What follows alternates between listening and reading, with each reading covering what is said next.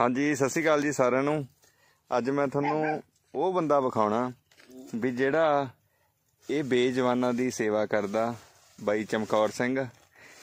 ਬਾਈ ਚਮਕੌਰ ਹਮੇਸ਼ਾ ਜਿੱਥੇ ਵੀ ਕੋਈ ਅਵਾਰਾ, ਕੁੱਤੀ, ਸੂਈ ਹੁੰਦੀ ਹੈ, ਤਾਂ ਬਾਈ ਉਹਨਾਂ ਦੀ ਸੇਵਾ ਕਰਕੇ ਜਾਂਦਾ ਕਤੂਰਿਆਂ ਦੀ ਕਈ ਕਈ ਕਤੂਰਿਆਂ ਦੇ ਮਾਂ ਮਰ ਜਾਂਦੀ ਹੈ ਤੇ ਉਦੋਂ ਵੀ ਬਾਈ ਨੇ ਇਹਨਾਂ ਦੀ ਸਾਂਭ ਸੰਭਾਲ ਕਰਨੀ ਹੁੰਦੀ ਹੈ। ਬਾਈ ਦਾ ਇੱਕ ਕਹਿਣਾ ਹੋਰ ਹੈ ਮੈਂ ਆਫ ਕੈਮਰਾ ਗੱਲ ਕੀਤੀ ਸੀ ਵੀ ਬਹੁਤ ਸਾਰੇ ਵੀਰ ਕਹਿੰਦੇ ਆ ਵੀ ਯਾਰ ਆਵਾਰਾ ਜਿਹੜੇ ਕੁੱਤੇ ਹੁੰਦੇ ਆ ਇਹ ਵੱਢਦੇ ਆ ਬੱਚਿਆਂ ਨੂੰ ਵੱਢਦੇ ਆ।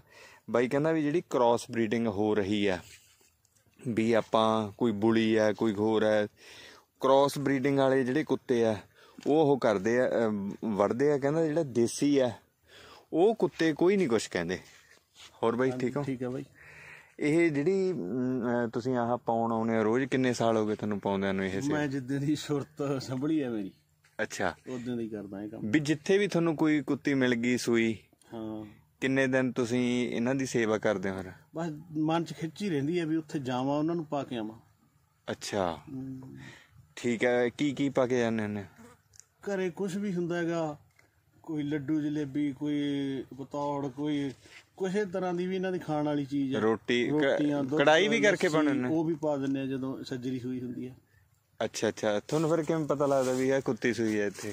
ਬਸ ਰੱਬ ਮੇਲ ਕਰਾ ਨਹੀਂ ਥੋੜਾ ਘਰ ਵੀ ਬਹੁਤ ਦੂਰ ਹੈ ਨਾ ਮੈਂ। ਉਹੀ ਮੇਲ ਕਰਾ ਦਿੰਦਾ ਬਸ ਉਧਰ ਨੂੰ ਖਿੱਚ ਲੈਂਦਾ ਹੈਗਾ। ਅੱਛਾ। ਉਧਰ ਰਾਹ ਹੀ ਮਿਲ ਜਾਂਦੇ ਨੇ ਵੀ ਆਹ ਸੂਈ ਹੋਈ ਹੈ ਯਾਰ ਇੱਥੇ। ਅੱਛਾ ਅੱਛਾ। ਤੇ ਵੀ ਇਹ ਕਿੰਨੇ ਏਰੀਏ ਦੇ ਵਿੱਚ ਬਾਈ ਜਾਂਦੇ ਹੋ ਤੁਸੀਂ? ਯਾਰ ਏਰੀਆ ਤਾਂ ਆਪਣਾ ਪਿੰਡ ਪੁੰਡੀ ਘੁੰਮ ਲਈਦਾ ਬਸ ਇੱਥੇ ਹੀ ਮਿਲ ਜਾਂਦੇ ਨੇ ਹੋਰ ਤਾਂ ਦੂਰ ਤੱਕ ਆਣ ਜਾਂਦੇ ਆ। ਅੱਛਾ ਅੱਛਾ। ਲਵੇ ਲਾਉਣੀ। ਦੋ ਚਾਰ ਕੁੱਤੀਆਂ ਸੂਈਆਂ ਹੀ ਹੁੰਦੀਆਂ। ਹਾਂ ਬਸ ਮਤਲਬ ਇਸੇ ਕੰਮ 'ਚ ਹੀ ਲੰਘੀ ਜਾਂਦਾ ਟਾਈਮ ਕਿਤੇ ਕਿੱਥੇ ਤੇ ਹੈਗੀ ਕਿਤੇ ਕਿੱਥੇ ਆਨੰਦ ਆ ਪੂਰਾ? ਪੂਰਾ ਆਨੰਦ। ਇਹਨਾਂ ਨੂੰ ਪਾਏ ਤਾਂ ਫੇਰ ਆਨੰਦ ਆਉਂਦਾਗਾ ਵੀ ਉਹ ਰਜਲੇ ਹੋਣਗੇ ਠੀਕ ਹੈ। ਅੱਛਾ ਨਹੀਂ ਫਿਰ ਐਂ ਜੇ ਲੱਗੀ ਜਾਂਦਾ ਰਹਿੰਦਾ ਜੋ ਹਾਂ ਯਾਰ ਭੁੱਖੇ ਹੋਣਗੇ ਪਾ ਕੇ ਆਈਏ।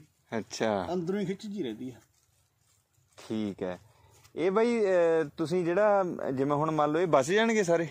ਅੱਧ ਪਚੱਧ ਅੱਛਾ। ਕੁਛ ਇਹਨਾਂ ਦੀ ਮਾਂ ਨਾ ਇਹਨਾਂ ਨੂੰ ਗਲਤ ਖਾਣਾ ਖਵਾਉਂਦੀ ਆ ਲਿਆ ਕੇ। ਜਿਵੇਂ ਹੁਣ ਉਧਰ ਉਹ ਹੈਗਾ ਫਾਰਮ ਹੈਗਾ। ਹਾਂ।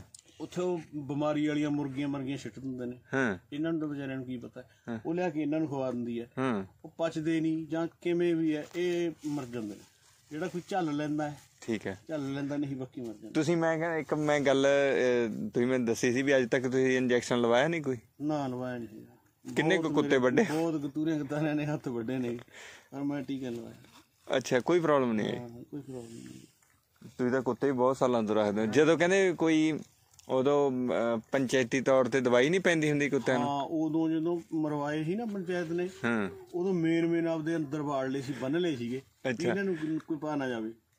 ਜਿੰਨੇ ਕੁ ਆਪਦੀ ਹਿੰਮਤ ਹੋਈ ਹਾਂ। ਵੀ ਆਹ ਆਪਦੇ ਲਵੇ ਲਾਉਣੇ ਜਿਹੇ ਵਾਲੇ ਨੇ ਉਹ ਆਪਦੇ ਲਕੋ ਲਏ ਬੰਨ ਲਏ।